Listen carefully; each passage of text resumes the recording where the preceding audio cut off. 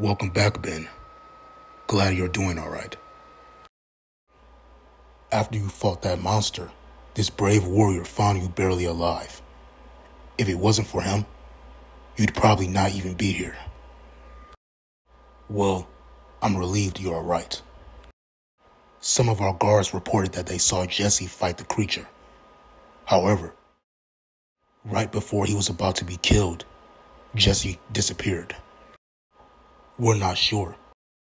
As for Steve, one of the guards escorted him to the outpost through the emergency exit.